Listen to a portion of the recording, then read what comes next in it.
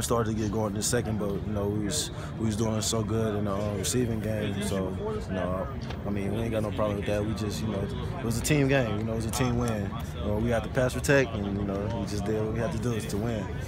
When you look at the Utah defense, what do you see? Um, pretty stout defense. They're pretty good. Uh, uh, they they got they, they send a lot of blitzes, so you know we got to get ready for that again. But overall, it's a, a solid defense. You know, it's a team we got to get ready for, just like every week. Do they look like they'll be hard to run against? Uh, every yeah, every team got their you know their challenges, and they are they do got a good run D.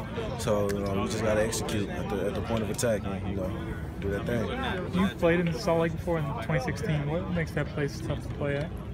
Uh, it's a it's a very hostile atmosphere. Um, the fans are crazy. You know, it's loud, but it's also exciting.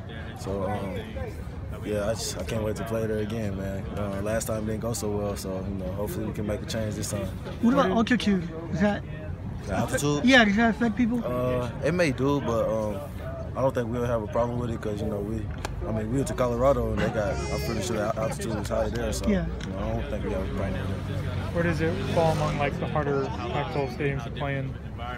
Um, harder Pac-12 stadiums. No, Washington was a good one. Um, it's in the top three. Washington, Oregon. For me, Washington, Oregon, Utah. You know, it's, it's that it's that top three right there. These games have tended to be really close in Salt Lake City. Do you sort of go in expecting another down to the wire game? Um, we expect every game to be a game. You know, you can't just expect, especially these uh, Pac. What I've learned, it's easy to lose in the Pac-12. You know, every everybody's good. You know, there's no just sucky teams. So.